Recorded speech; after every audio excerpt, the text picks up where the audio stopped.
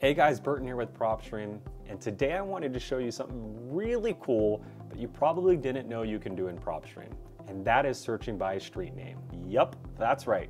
You can just search by street name. And what PropStream will do is show you every property that we have recorded on that street. All you have to do is go to our search engine, type in the street name, city, state, and zip code. Then click on the suggestion that you see right below. Doing that, PropStream will zoom in on that area and on the right-hand side show you everything that we have recorded on that street.